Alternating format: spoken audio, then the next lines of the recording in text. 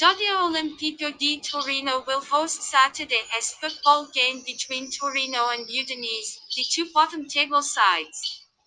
Despite producing a fine display in the Turin derby, Leno's Toro eventually failed to spoil Juve's party at Allianz Stadium.